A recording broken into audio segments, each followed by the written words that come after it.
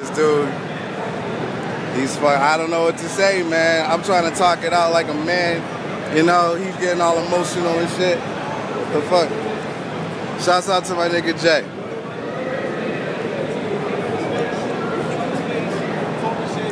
What is it? So let's go outside and see what it is. No. Oh. I got no issues with you. There's no issues. There's no issues. There's no issues. Oh, okay, so he had to go to police. Talking to the police. No, no, it's unacceptable. So we're gonna we're gonna take it from you, all right?